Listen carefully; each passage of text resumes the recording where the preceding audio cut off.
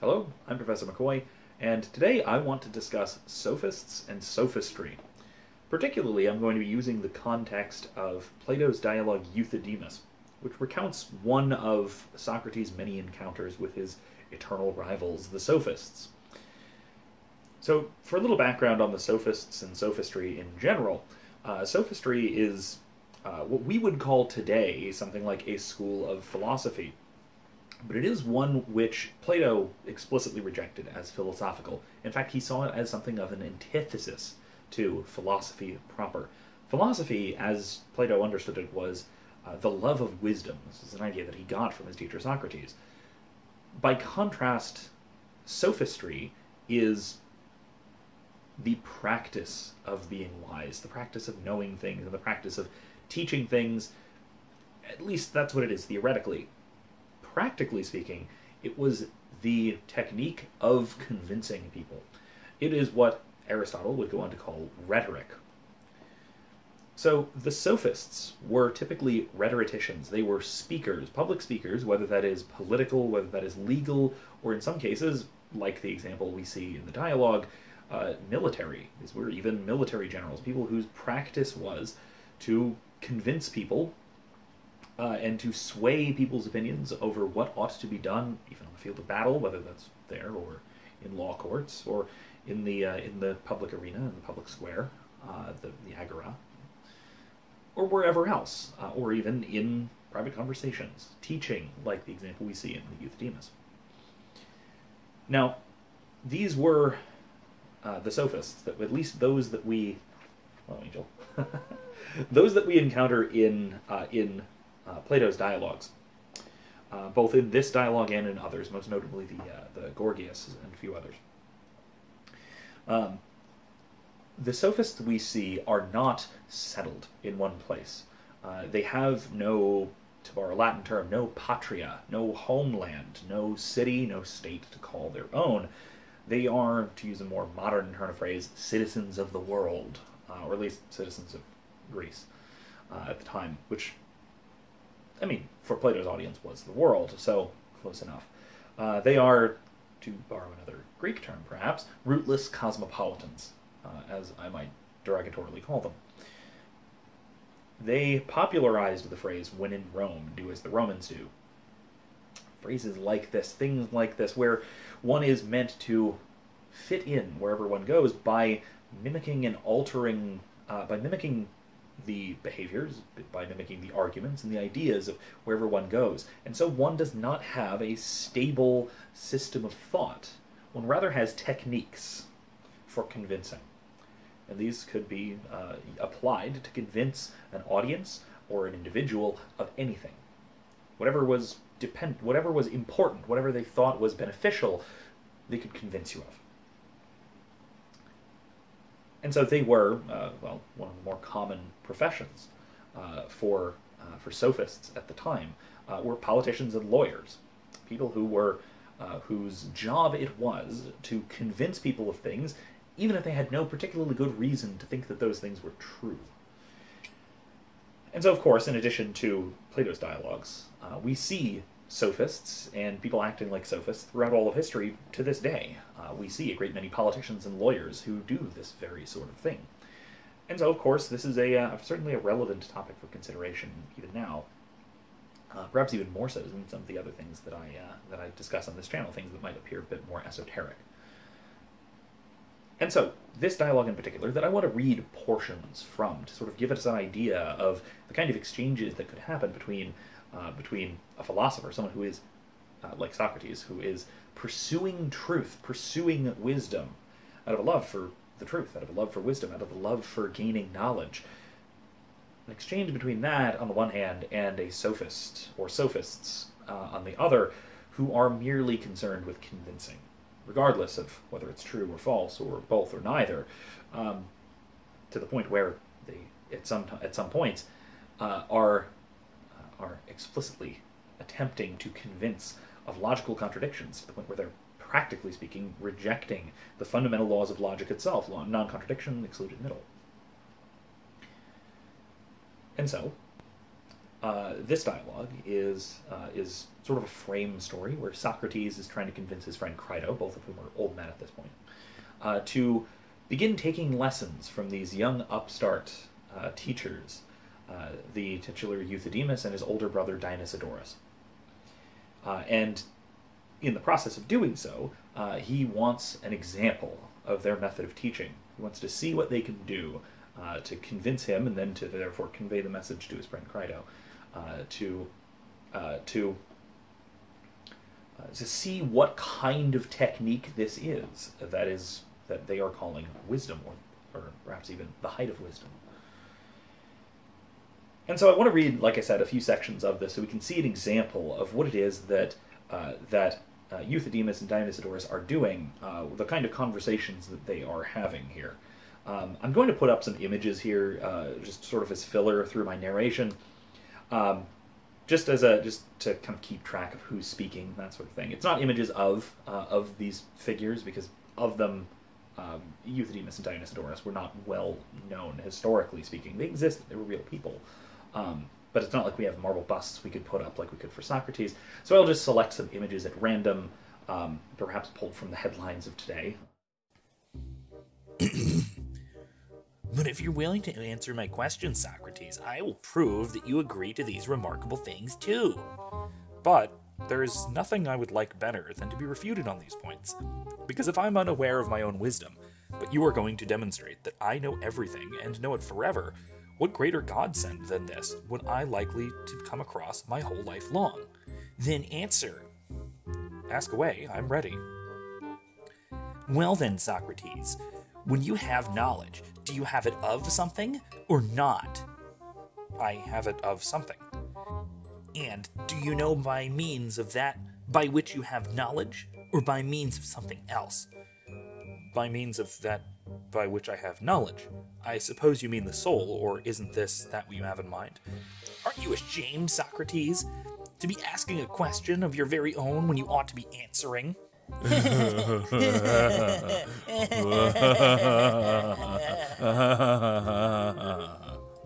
Very well, but how am I to act? I will do just what you tell me. Now, whenever I don't understand your question, do you want me to answer just the same without inquiring further about it? You surely grasp something of what I say, don't you? Yes, I do. Then answer in terms of what you understand. Well, then, if you ask a question with one thing in mind and I understand it with another, and then answer in terms of the latter, will you be satisfied if I answer nothing to the purpose? I shall be satisfied, although I don't suppose you will. Then I'm certainly not going to answer until I understand the question. You're evading a question you understand all along, because you keep talking nonsense and are practically senile. Well, Euthydemus, if you think this is how to do things, we must do them your way, because you're far more of an expert at discoursing than I, who have merely a layman's knowledge of the art. So go back and ask your questions from the beginning. And you answer again from the beginning. Do you know what you know by means of something or not? I know by means of the soul. There he is again, adding on something to the question. I didn't ask you by what means you know, but whether you know by means of something.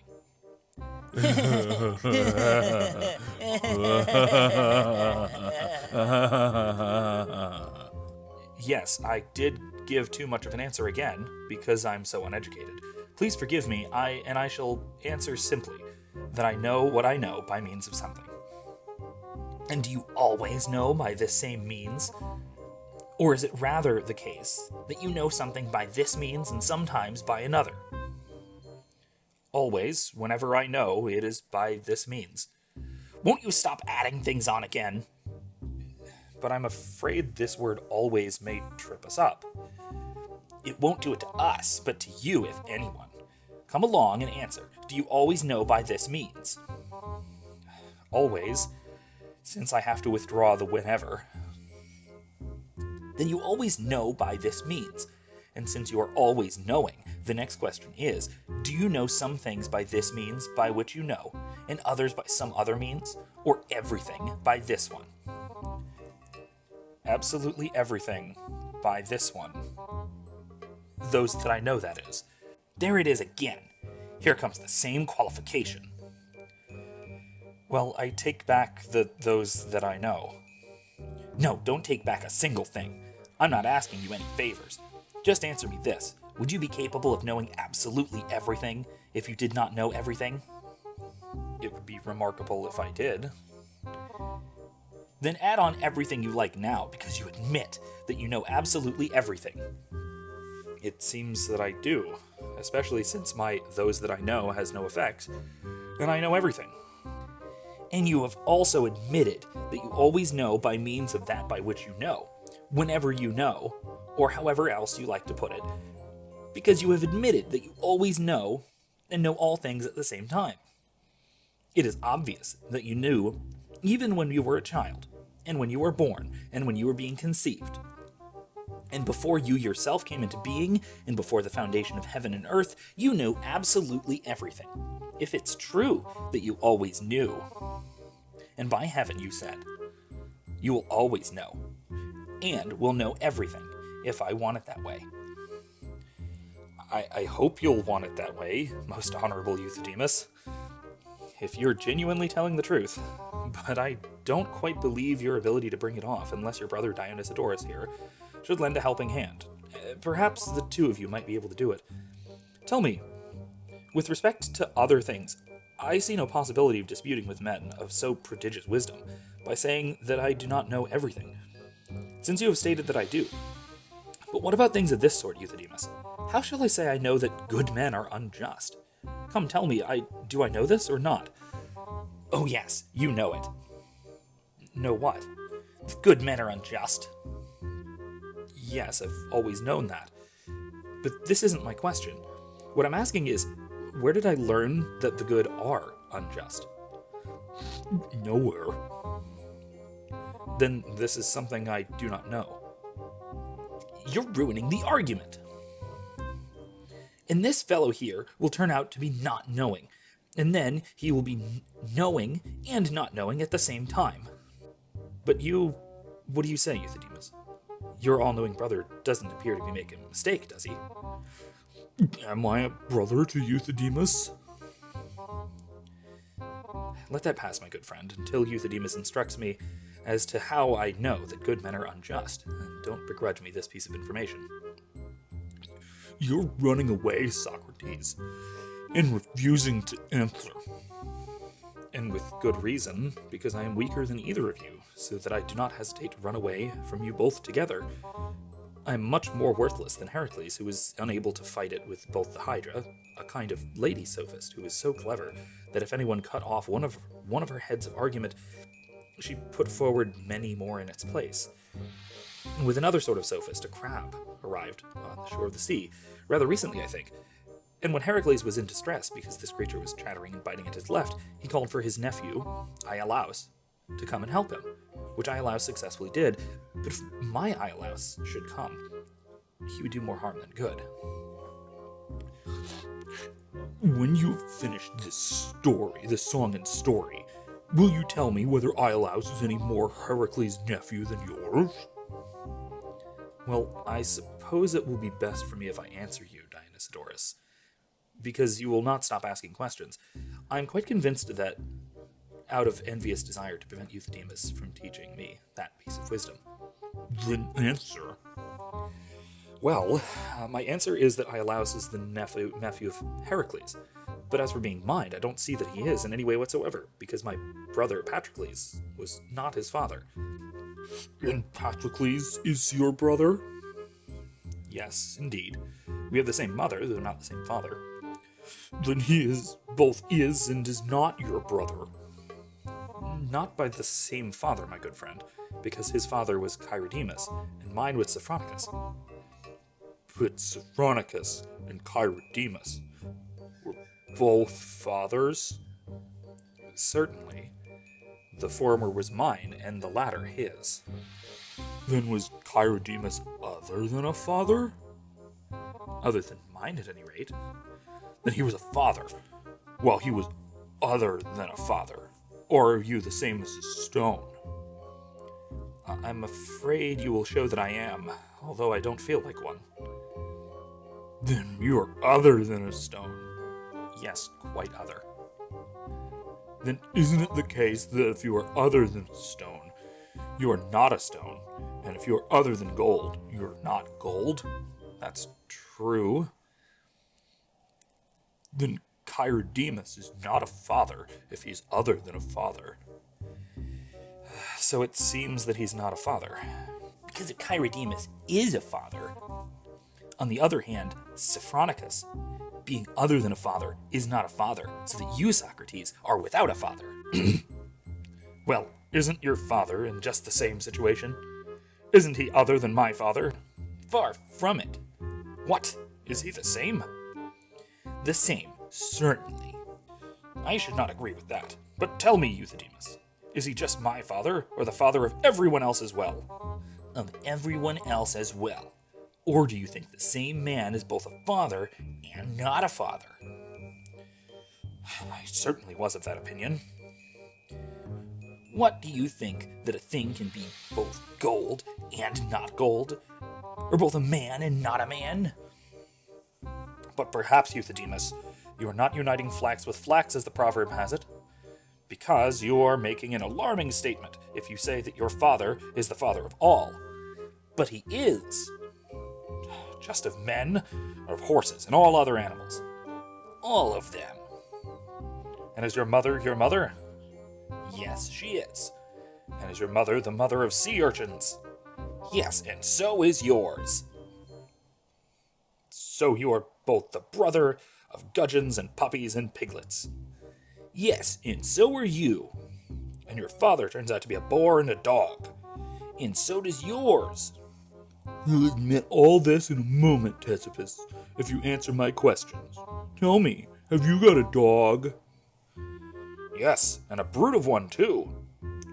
And has he got puppies? Yes, indeed, and they're just like him. So the dog is their father? Yes, I saw him mounting the bitch myself. Well then, isn't the dog yours? Certainly. Then, since he is a father and is yours, then the dog turns out to be your father. And you're the brother of puppies, aren't you? Do you beat this dog of yours? Heavens, yes. Since I can't beat you. Then you beat your own father.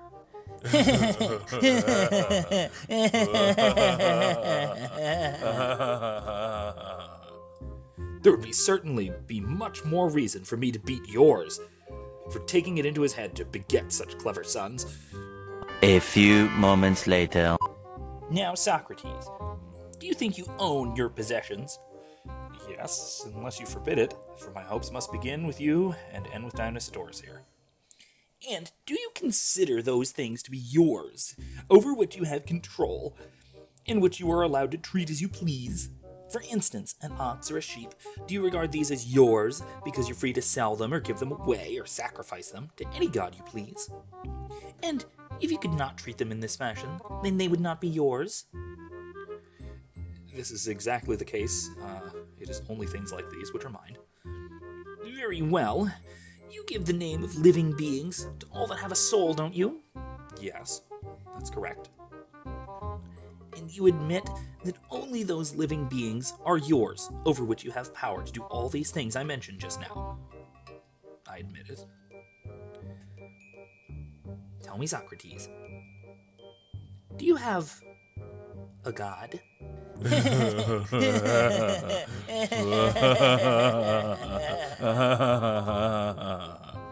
I must admit that I do. Oh, so then Apollo and Zeus and Athena, you would call them your gods? My ancestors and my masters. But at any rate, they're yours. Or didn't you admit they were? Yes, I admitted it. What's going to happen to me? Then these gods are also living beings. Because you've admitted that everything which has a soul is a living being, or don't these gods have a soul? Oh, yes, they do. Then they are living beings. Yes, living beings. And you've agreed that those living beings are yours, which you have a right to give away, and to sell and to sacrifice any god you please. Yes, I agree to that. Uh, there's no retreat for me, Euthydemus. Then come tell me straight away, since you admit that Zeus and the other gods are yours, that you have, have the right to sell them, or give them away, or treat them in any way you like, as you do with the other living creatures.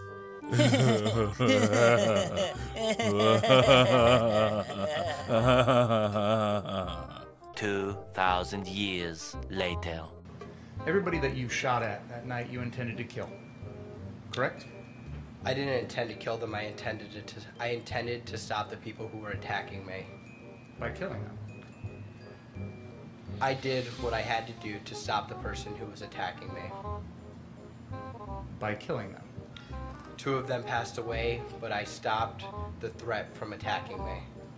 By using deadly force I used deadly force.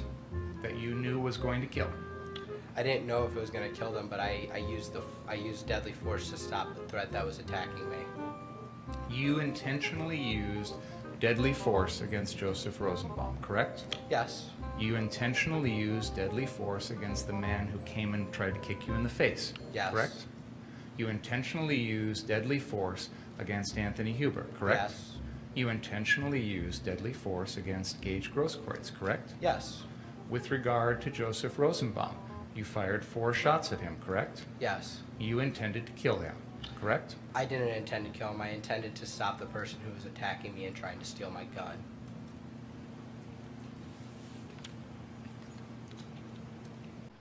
So we can see from this example uh, the kind of practice that sophists uh, that sophists promulgated, the kind of uh, the kind of thing that they taught, the kind of thing that they learned, and the kind of thing that they did.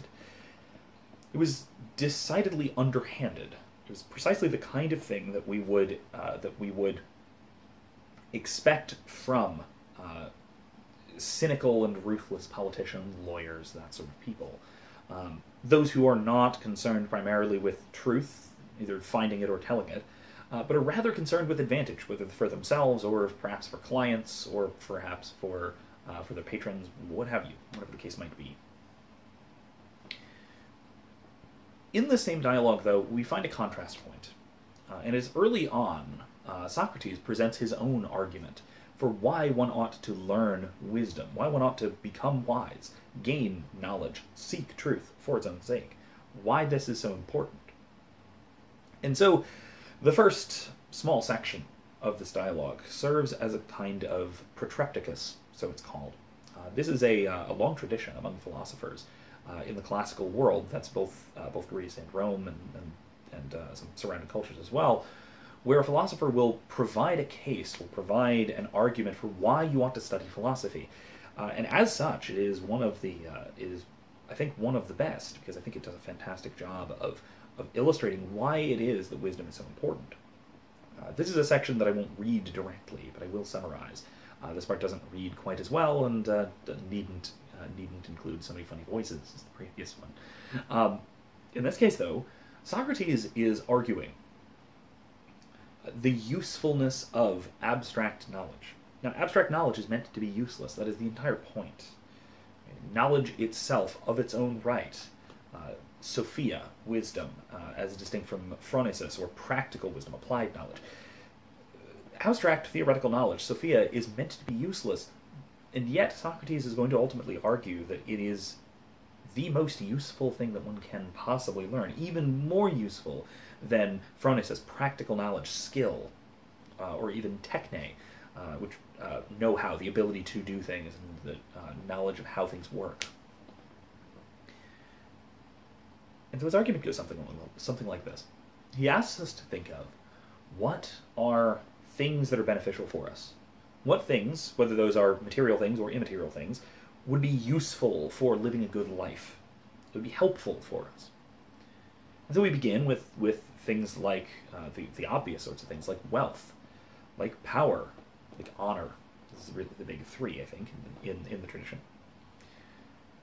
And he goes a little more fine grained as well to talking about uh, skills, right? Ability to create things, to make things, tools for those uh, for those skills, uh, the ability to do things, the ability to uh, to make money, to obtain power, to uh, to obtain to maintain honor or one's reputation, anything like that. all of these all of these things are seen as useful, and they almost certainly are. However, Socrates brings up what I think is the key of his argument, which is to ask what good is anything if you do not use it? So, what good is money if it is not spent? Uh, The answer is precisely nothing.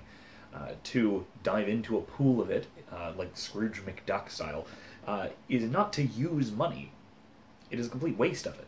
Um, I, he discusses this elsewhere, Socrates, that is, uh, in the Republic as well, and I have a lecture on uh, on a subject similar to that, um, which is worth worth, worth noting. So it will be in the description.